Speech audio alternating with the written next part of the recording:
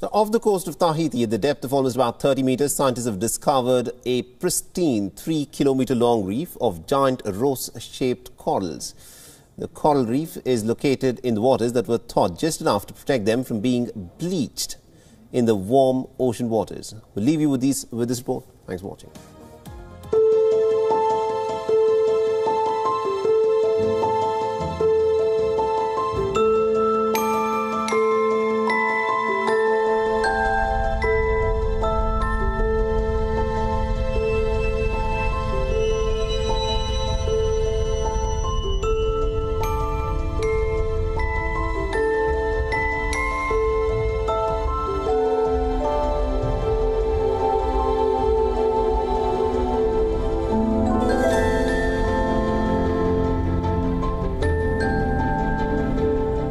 The science team that, that, took part in this uh, expedition uh, discovered a, an amazing new discovery, uh, a, a, coral reef system that basically is sitting at quite an impressive depth of between 30 to 70 meters, and which is really quite extensive, about three kilometers long in, in shape um, and uh, in a very, very good condition. So, you know, generally coral reefs are found up to 25 uh, meters in, in, tropical systems, so it's, it's quite impressive to find a, a, such system in, in, a very good state of, uh, of health uh, at that sort of depth.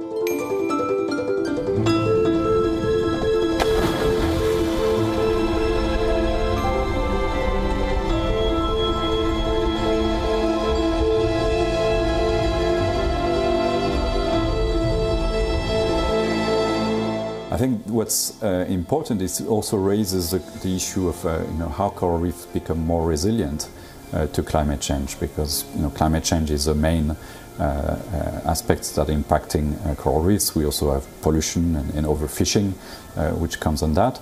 But certainly that gives us hope that there might be other ecosystems that we have not found in the ocean, particularly this type of coral reef at this kind of depth.